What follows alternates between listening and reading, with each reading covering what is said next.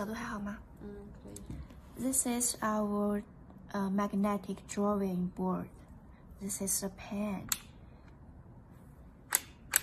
This is apple shape.